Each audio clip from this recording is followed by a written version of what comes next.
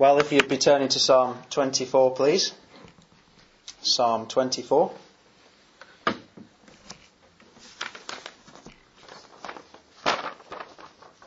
And um, we're going to read the whole chapter because it's not very long.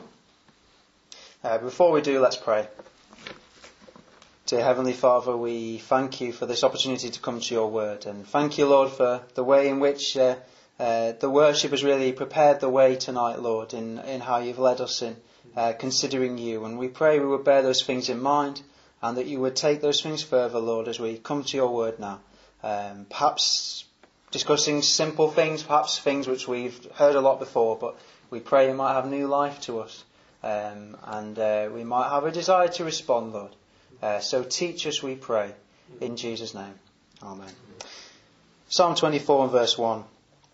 The earth is the Lord's, and all its fullness, the world, and those who dwell therein. For he has founded it upon the seas, and established it upon the waters. Who may ascend into the hill of the Lord? Or who may stand in his holy place? He who has clean hands and a pure heart, who has not lifted up his soul to an idol, nor sworn deceitfully. He shall receive blessing from the Lord, and righteousness from the God of his salvation. This is Jacob, the generation of those who seek him, who seek your face. Selah. Lift up your heads, O you gates, and be lifted up, you everlasting doors, and the King of glory shall come in. Who is this King of glory? The Lord strong and mighty, the Lord mighty in battle. Lift up your heads, O you gates, lift up, you everlasting doors, and the King of glory shall come in. Who is this King of glory? The Lord of hosts. He is the King of glory. Selah. Well, we're not going to look at the whole of that passage uh, tonight. Um, we're just going to look really at um, a few verses. Um, one of the um, difficulties I'm finding at the moment as I'm starting out uh, uh, in in this work is I keep wondering if something I am looking at has been spoken on recently, and I just have this sneaky feeling, sneaky feeling. Uh, well, whatever the word is. I have this feeling that something of this might have been covered before. Um, but uh, if it has, then I hope this is uh, fresh and new. Um, but we're going to look at uh, really verses 3 to 5 um, this evening. Um, and uh, the reason I've been looking at this psalm is um, actually uh, uh, it was something that really spoke to me a week or so ago, two weeks ago, um, as I was thinking about the, the Sunday when I was going to be uh, set aside, as it were. And um, throughout that week leading up to it, this psalm had a real significance to me, which I'll probably go into a bit later. Um, which is, so that's why uh, we're looking at it tonight because it's been speaking to me ever since then. Um, and although we're looking at uh, verses 3 to 5 tonight, it's important to remember what comes before that the earth is the Lord's and all its fullness, the world and those who dwell therein.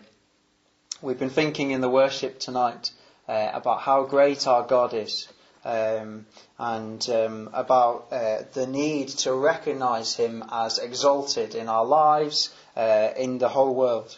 Um, and so that's the context tonight as we come to look at uh, coming into the Lord's presence and, and who can do that.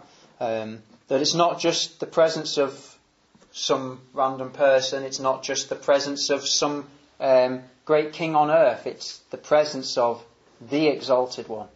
Um, and so uh, we need to bear that in mind when we come to this. He created the world, as it says in verse 2, and everything and everyone in it, which means he owns the world and everything and anyone in it. So he, he has a rightful uh, hold upon our lives uh, if we'll only submit to it. So, Verse 3 Who may ascend into the hill of the Lord, or who may stand in his holy place? Now, the phrase hill of the Lord only appears once in Scripture, at least in, uh, in, in my version, um, and no prize for recognising that's here. Um, so this is the one place it, it appears. But the phrase holy hill or God's holy hill, or His holy hill, or your holy hill, speaking to the Lord, appears several times in the Psalms. Um, so uh, there's clearly a pattern here that, that there is this hill. Um, and the question, therefore, is what hill is David talking about? What hill is he talking about? Now, the temple wasn't built at this point uh, because David is speaking. Obviously, Solomon built the temple.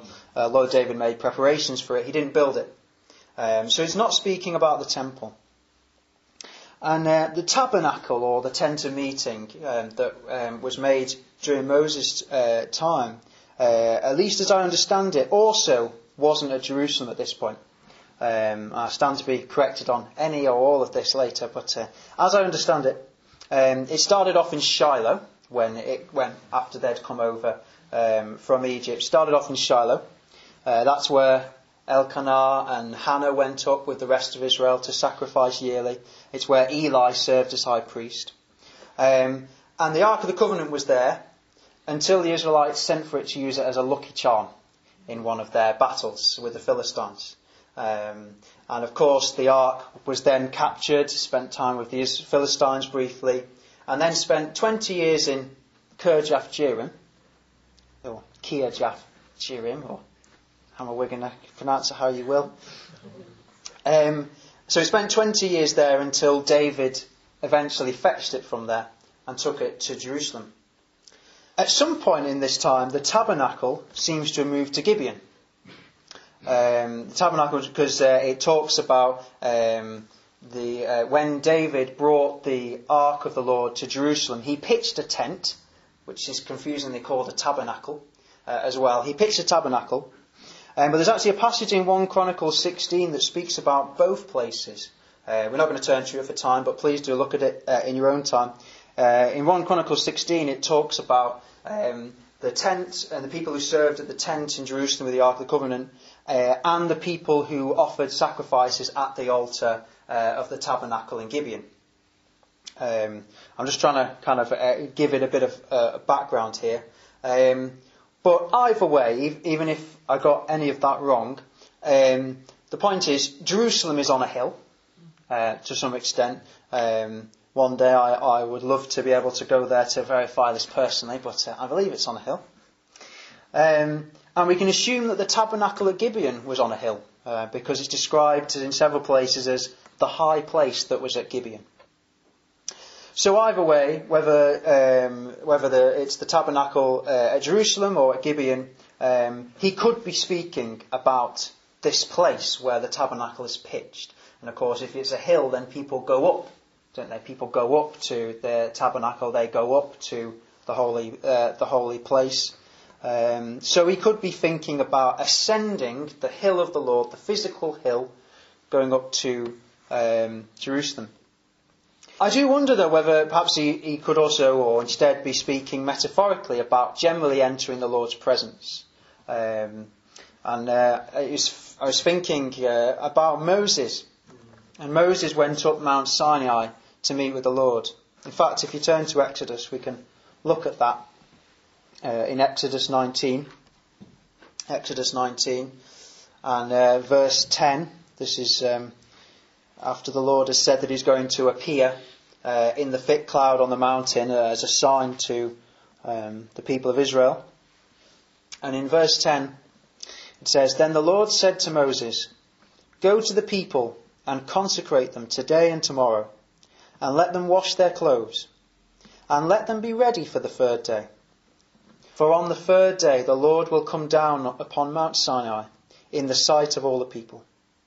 You shall set bounds for the people all around, saying, Take heed to yourselves that you do not go up to the mountain or touch its base.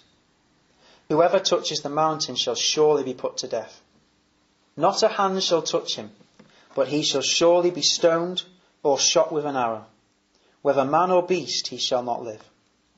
When the trumpet sounds long, they shall come near the mountain. So Moses went down from the mountain to the people and sanctified the people, and they washed their clothes. And he said to the people, Be ready for the third day. Do not come near your wives. Then it came to pass on the third day in the morning that there were thunderings and lightnings, and a thick cloud on the mountain. And the sound of the trumpet was very loud, so that all the people who were in the camp trembled. And Moses brought the people out of the camp to meet with God, and they stood at the foot of the mountain. Now Mount Sinai was completely in smoke, because the Lord descended upon it in fire. Its smoke ascended like the smoke of a furnace, and the whole mountain quaked greatly. And when the blast of the trumpet sounded long and became louder and louder, Moses spoke, and God answered him by voice. Then the Lord came down upon Mount Sinai on the top of the mountain, and the Lord called Moses to the top of the mountain, and Moses went up. I read the whole of that section because it shows the preparation that was there for the, for the Lord to meet with, with his people and the warnings that were there about not touching the mountain. So even the general congregation who weren't actually going to go up into the hill of the Lord had to be consecrated. They had to cleanse themselves. They had to keep themselves clean for that period. Let alone Moses, who was going to actually go up the mountain into the Lord's presence. And it's quite an awesome picture. Uh, it must have been an awesome sight to be there, uh, to hear this loud trumpet, to see a mountain covered in smoke uh, and uh, and lightnings and thunder in the morning. I'd, I'd only just noticed, you know, sometimes you don't notice things, and suddenly occurred to me, oh wow, this is actually in the morning. This is happening. I kind of picture it at night. Uh, well, maybe it was that dark, we don't know, but certainly um, it would have been very, very unusual. Um, and so there's this amazing sight, and the Lord comes down to the mountain, but only Moses, at least at this point, only Moses goes up. Um, because God calls him. Moses doesn't just arrogantly decide to go up to the mountain. God calls Moses and says, Moses, come up. And God warned that if anybody else touched the mountain, they would die. They were to be put to death. Um, but Moses was accepting the Lord's sight. And I wonder if, thinking about the verses we're going to look at later in, in this Psalm 24, if it's at least partly because of Moses' heart. And the fact that Moses' heart was right before the Lord. Whereas perhaps most of the people of Israel's weren't, given that they were all going to go over to an idol um, just days or, or weeks later. Uh, and the Lord saw that perhaps. Um, yeah, so the idea is that uh, Moses goes up to Mount Sinai to meet with the Lord. And so perhaps Moses, perhaps David was thinking about this uh, when, he, when he was writing this. It's, perhaps. Um, and um, uh, either way, really, um, whether he was thinking about um, uh, metaphorically or he was thinking of a literal hill uh, that he went up, um, of course, we don't have a tabernacle now. Um, we don't have to go to one single place uh, to meet with the Lord. We can come at any time and in any place in prayer and meet with the Lord. Though, of course, just like Moses, we would have to be cleansed from our sins in order to have that real fellowship with the Lord. And we'd have to come with the right attitude. But we've not got those limitations that David did at that time. And whatever he was thinking of, there is this recognition that the Lord is high and lifted up.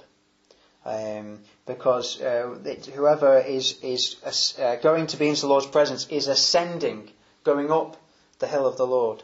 Um, and of course, there were high places uh, in Israel um, for worship, sadly for idol worship sometimes, but there were these high places.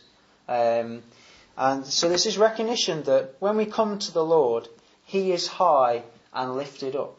Um, which is why it was great to see the way the worship was going tonight um, and talk about the Lord being exalted um, and being exalted in our lives. And uh, so he should be. So, we have the phrase, the hill of the Lord, um, just some thoughts on what it might mean. And it also talks about um, standing in the holy place.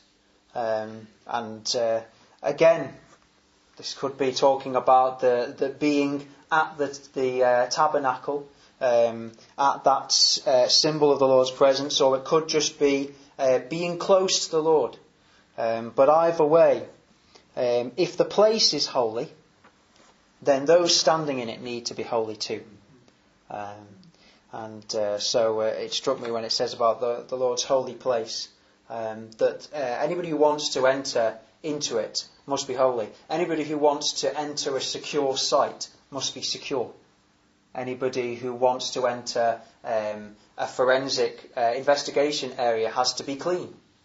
Um, and uh, and so on. There's there's so many pictures out there, um, but a holy place needs holy people to stand in it. And the presence of the Lord is holy. And of course, we don't have um, a physical tabernacle, so we've not necessarily got the awe of thinking, "Oh wow, I'm stepping over this threshold. I'm stepping into the Lord's presence." And uh, perhaps uh, in Israel's time, I can see the Shekinah glory. I can see all uh, the glory there. So wow, this is awesome in a sense. We don't have that. Um, we haven't got anything we can see and touch. And so maybe it's easier for us to come to the Lord's presence uh, glibly uh, or lightly. But actually, just like those Israelites who would have come to the tabernacle and recognized something of what they were doing, um, that when we come in our times of worship here, as well as at home, um, which is partly why we have the times of preparation upon the, the board before the meeting starts. That we take time to think that we are coming into the presence of the Exalted One. Um, and anyone who comes into the presence of the Exalted One must be holy, must be clean, in order to really enter that presence. Um, in order to really enter into worship, perhaps, uh, we need to be clean. So, there we go. So that was uh, verse 3 uh, of Psalm 24, um, if you've gone back there now. Verse 4 He who has clean hands and a pure heart, who has not lifted up his soul to an idol, nor sworn deceitfully. And there's uh, four uh, requirements uh, here for the person who comes into the Lord's presence, uh, which seem to represent different things. Um, we won't consider them all in particular detail. There's one or two I want to consider more than others. But uh, clean hands seems to represent righteousness and the absence of sin. Uh, we, we talk in, uh, in, in our culture, don't we, about having uh, clean hands if somebody's innocent, um, or getting their hands dirty if they've got involved in crime in some way. Um, we talk about people having blood on their hands um, if they have either killed somebody or through something they have done has caused somebody, caused somebody to die. Uh, Pilate washed his hands to claim he was innocent of Jesus' death. Um, and so having clean hands, uh, we would generally think of as being that we are innocent, that we are free from sin. If we are to enter the Lord's presence, we need to have those clean hands. And um, there's various places where it talks about uh, clean hands. Um, Psalm 26 verse 6 says, I will wash my hands in innocence, so I will go about your altar, O Lord. Again, that reminder that to come to the Lord's altar, our hands must be clean. And of course, the priests, when they came to serve at the tabernacle, um, had, uh, as Ray has uh, mentioned recently, had to cleanse themselves, um, wash themselves before they could come into the Lord's presence um, a symbol of the need to be uh, clear from their sin. And um, in Ephesians 4, verse 28, Paul says, Let him who stole steal no longer, but rather let him labour, working with his hands what is good, that he may have something to give him who has need. Slightly different perhaps, but again, that reminder that what we work with our hands, um, or what we do generally, um, must be innocent. And of course, we can never fully live up to that um, as human beings, that we can live a perfect life at all times. But again, isn't that what we thought about this morning uh, in our worship? That the Lord is willing to forgive us, that the Lord is willing to wipe that slate clean when we come to Him. And so when we have these times of preparing for our worship, and the, the sign is on the, the projector or whatever, and we, we come to sit down, um, one thing perhaps we haven't mentioned is to say to get right with the Lord um, and to make sure our hands are clean so that we can come into His presence um, to examine ourselves. So we've got clean hands. But perhaps the, the one that's spoken to me the most uh, recently is uh, a pure heart. He who has clean hands and a pure heart. Uh, now, our heart is the seat of our desires and our attitudes. Um, uh, when God looks at our hearts, He sees what we want and why we want it, what we like and why we like it. It's where our desires are seated. And uh, the Bible has a lot to say about the heart. I'm sure you can think of some verses. Uh, here is the interactive part of the message. Uh, if anybody can think of any verses to do with the heart, shout them out, please. The heart is deceitful above all things and desperately wicked. Yes. All those sins come from the heart. Yes, absolutely. We will use that verse. Thank you, Ben. Yes, indeed, as Asher said. Yes, absolutely. Um, so, so uh, all these sins come from our hearts. Um, there are loads. Um, and I was in the, the position where I had saw all these verses I want to mention, and um, I'm only going to mention about 100, so it's all right. Um, but uh, no, there's all these verses. Uh, there's all these verses that, that, that we could mention uh, to do with the heart, um, but we won't for time. Um, but I will mention a few. Uh, Matthew 5, verse 8 Blessed are the pure in heart, for they shall see God. And of course, purity, being pure, means undefiled, uncontaminated. Uh, we see in Scripture that the heart can be hard. Pharaoh's heart was hard um, against the Israelites. It can also be willing. Those of a willing heart gave to the work of the tabernacle when it was being made. Uh, the Israelites were told in Deuteronomy that they were to love the Lord your God with all your heart, all your soul, and all your strength. And perhaps that's where um, it, it reminds us that the heart isn't just about emotions and, and feelings, um, because it doesn't say, um, pray that your emotions would one day turn to the Lord, and that one day you would just magically start to like Him it doesn't say that, does it? it, it it's a command. You shall love the Lord your God with all your heart. Um, and so um, we don't need to sit around thinking, oh, I hope one day my heart changes. Uh, I hope one day I, I just suddenly switch to becoming loving of the Lord. Um, and uh, we will talk about uh, the Lord changing hearts later, but um, there is a command sometimes we can't just wait for our hearts to magically change. Sometimes we have to say, no, I will love the Lord. I will make sure my heart is, is right before the Lord um, with all our soul and all our strength. And of course, um, Samuel told Saul that the Lord uh, would not allow his kingdom to continue because he sought for himself a man after his own heart. So the Lord has a heart that he is looking for others to have a similar heart to him. And there's a verse you probably, some of you probably thought about just a minute ago uh, when I was asking about verses to do with the heart. 1 Samuel 16, verse 7.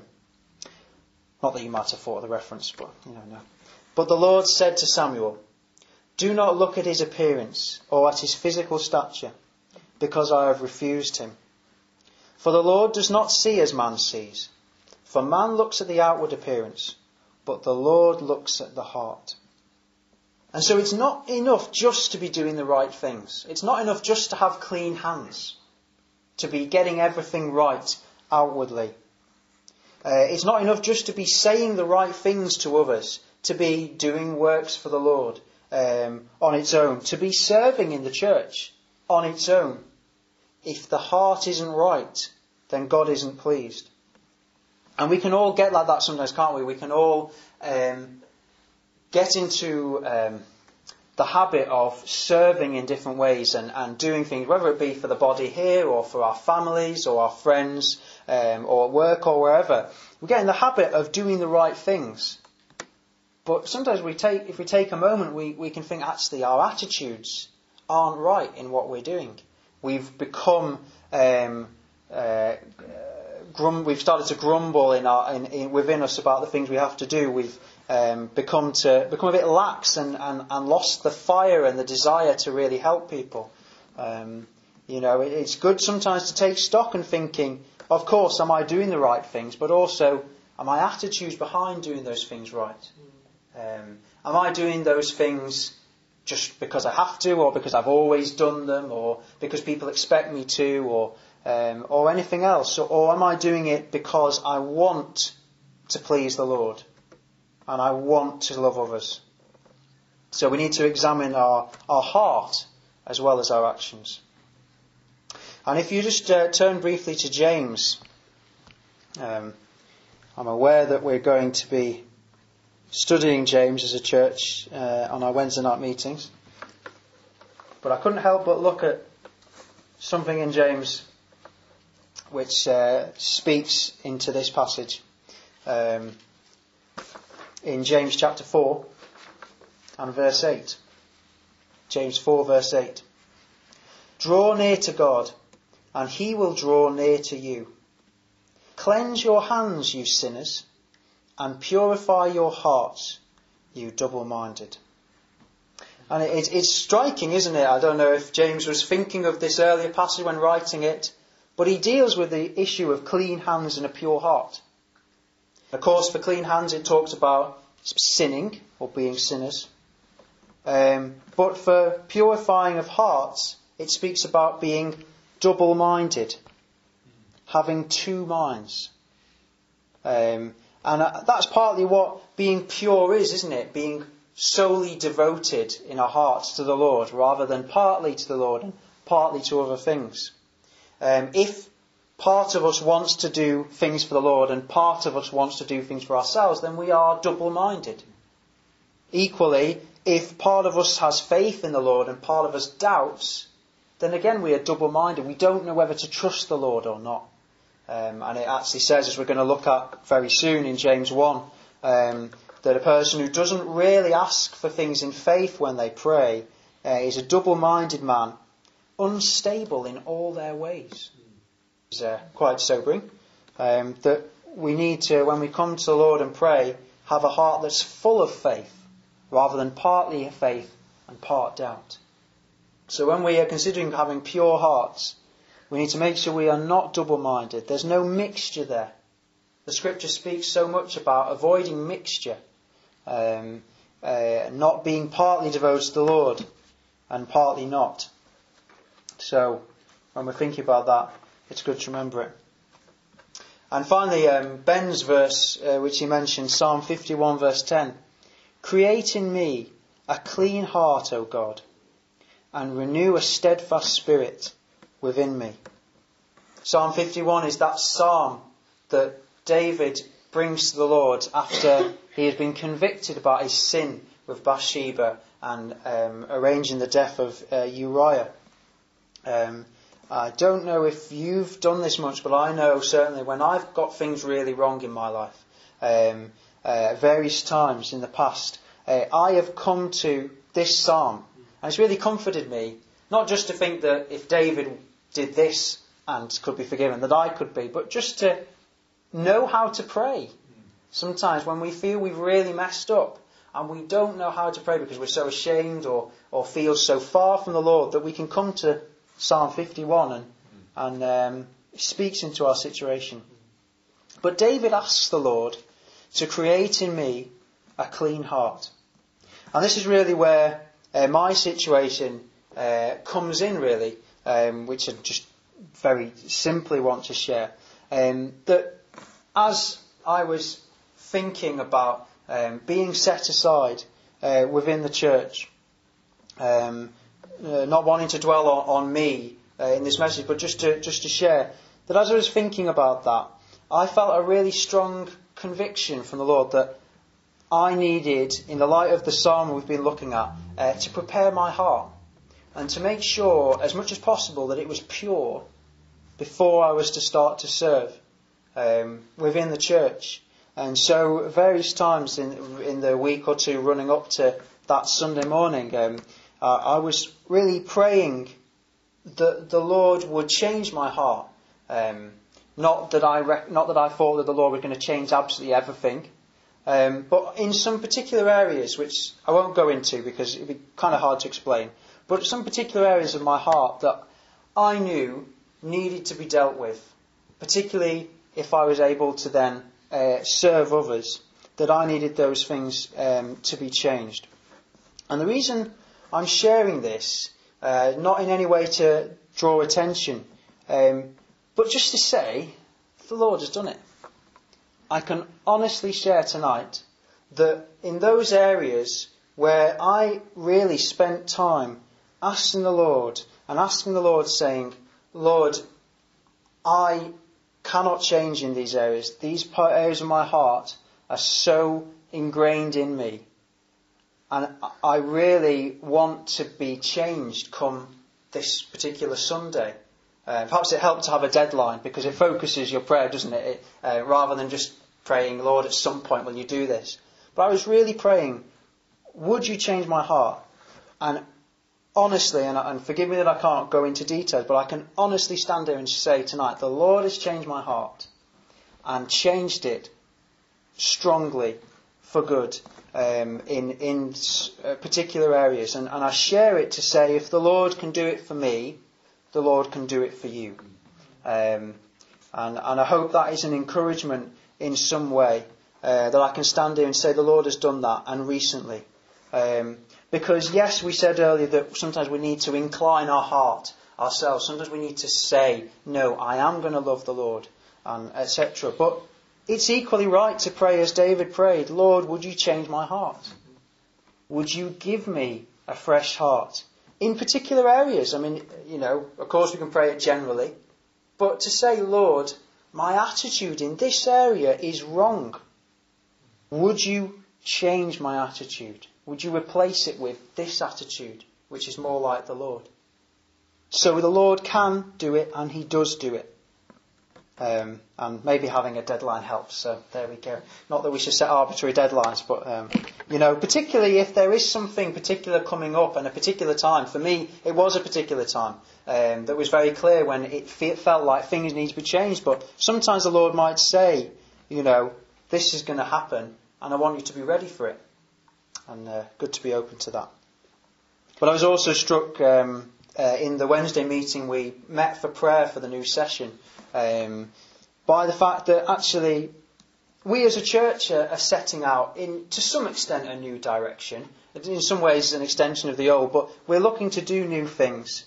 Um, we have uh, various changes that have happened and are happening, um, and we're looking to be even more fruitful. We pray for the Lord, um, and so maybe the Lord would say to us uh, at this time, you know, before we start to be fruitful in those areas, that the Lord wants to deal with things in our hearts um, individually. Um, because um, when we are dealt with individually, the whole body profits, doesn't it? Um, if one person's attitude in the fellowship changes, it lifts the whole fellowship. If one person turns around and says, actually, I'm willing to do this, or I'm willing to put this behind me, which was a problem, we can feel the benefit. And outsiders coming in can feel that as well. Um, and people around us in our lives can see a change, can't they?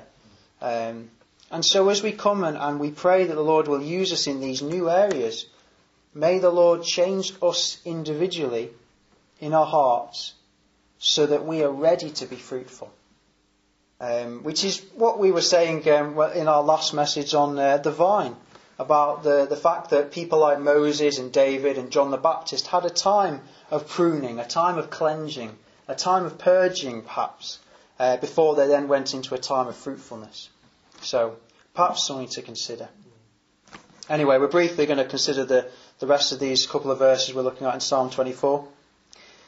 The, um, the next thing, uh, after clean hands and a pure heart, is not to have lifted up his soul to an idol, uh, or as other versions put it, uh, to falsehood uh, or to vanity. Um, I think it can be translated any of those ways. And in a sense, they're similar because if you worship an idol, you're worshipping vanity. There's, there's, there's no point to it. Um, and I always recently come back to the, the verse which um, I don't know if it was Anne or someone else shared recently about uh, turn away my eyes from looking at worthless things. Uh, again, in the New American Standard, it's translated vanity. Turn away my eyes from looking at vanity. Um, and it's helpful to think of that. But also a verse in Job, uh, Job 15, verse 31, which says, Let him not trust in futile things, deceiving himself for futility will be his reward. Or let him not trust in emptiness, for emptiness will be his reward. It really struck me to think, yeah, if we invest our time into what is worth nothing, then we're going to reap nothing. Really, it, stands to reason. You know, what you sow, you will reap. Um, and so, um, just briefly considering this this this idea that um, the person who comes to the Lord should not be lifting up their heart, their eye, their soul to vanity, because if they are, then they have a divided heart. They haven't got a heart that is fully for the Lord because they think that um, vain things are worth spending time on. And finally, it talks about uh, not swearing deceitfully. Um, and again, if we're thinking about what these represent, clean hands, being free from sin, pure heart, having the right attitudes and desires, uh, lifting up soul to idol, not going after vain things, swearing deceitfully, perhaps what we say, generally. Um, that if we uh, have foul mouths or, or mouths that are forever spouting wrong things, we can't expect to be able to come into the Lord's presence. But uh, as we close, just to think about that fifth verse He shall receive blessing from the Lord and righteousness from the God of his salvation. Well, I don't know if we often think to, uh, very often to, to, to, ask for the Lord's blessing for ourselves. Um, perhaps we can get um, slightly too cautious because we see people around us in, in certain church movements claiming blessings um, which Scripture doesn't say we're necessarily entitled to. Um, but it is scriptural to ask the Lord to bless us. Um, not so that we can spend it on worthless things uh, uh or, or, or, or anything like that, but it is scriptural to ask the Lord to bless our lives. And David says that if we clean our hands, purify our hearts, that we can receive the Lord's blessing and we can receive righteousness. And obviously, we covered that this morning, didn't we, in our, in our worship? Um, that the Lord can give us righteousness. Isaiah 54, verse 17, the Lord says, This is the heritage of the servants of the Lord, and their righteousness is from me. So, as we close, we need to pray and ask the Lord that we might have clean hands and a pure heart, that we might not give our time over to vanity to all those things which may seem important, but actually in the Lord's economy aren't so important at all. And we need to make sure the things we say are right, so that the Lord can bless our lives and give us his righteousness. Let's pray. Dear Lord, we know from Scripture you say that you know our hearts, Lord. Um, and uh, Lord, that you search them to see if they are right in your sight. And Lord, though we know that there is very much in our hearts, Lord, and our ways which is uh, not pleasing to you still now, we would pray, would you search us out, Lord? Uh, Lord, not so that we can buckle under a weight of guilt, Lord, but so that we might seek your help to change in those areas, Lord. And we would pray, Lord, with David, Lord, would you create in us a new heart, Lord? Would you put in us the desires to seek you for changed hearts and attitudes in particular areas, Lord? You know the uh, ways that we have which are not pleasing to you. Would you put those on our hearts to seek you for help with, Lord? Because, Lord, we know, Lord, and, and would believe tonight, Lord, that you are willing and able to change us if we really seek you. So, Lord, would you help us, Lord? And as we do these things, may we know a closer relationship with you. May we know the ability to enter into your presence and into your holy place and your holy home. So we pray for your help, Lord, in Jesus' name. Amen.